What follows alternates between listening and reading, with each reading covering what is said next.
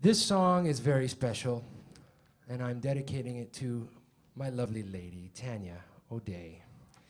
I remember her sitting upstairs learning it over and over and over and over and over again and over again and over and again, finding her key and finding the phrasing. And so I always think of her whenever I play this song.